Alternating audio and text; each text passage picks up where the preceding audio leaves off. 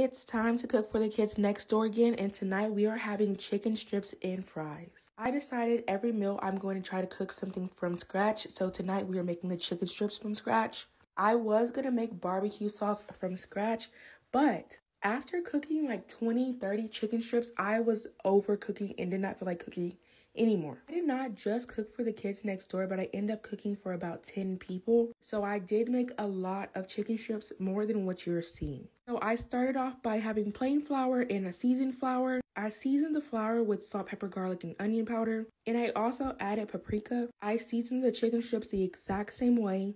First, I dipped the chicken strips into the plain flour and then I dipped it into the egg wash. Then I dipped it into the seasoned flour. A little hack for y'all, if you put a little bit of water into your seasoned flour, chicken strips will come out looking more like the store-bought chicken strips or chicken strips that you get from a restaurant. I cooked the chicken strips for five minutes on each side and I fried them in canola oil. I don't fry foods like I used to, but I do want to find a different type of oil to use. So if y'all know any type of oils I can use when I do fry foods, then let me know. Mostly everything that I fry is in the air fryer. I did cook the fries in the air fryer for this meal. I had used a seasoned checkered fries that I got at the store. These are how the chicken strips turned out. They turned out perfect. These are the fries that I cooked in the air fryer. I did run out of Zoo Pal plates, but I need to definitely get some more. I use these little tray things to make it like a diner style food. The kids end up loving the chicken strips and fries.